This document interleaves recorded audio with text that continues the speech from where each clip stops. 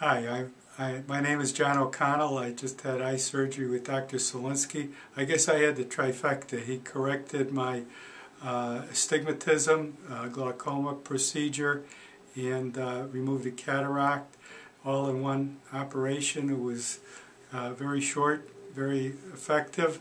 Uh, I have new lenses and my, my vision is, is excellent. The whole procedure was wonderful uh, from start to finish.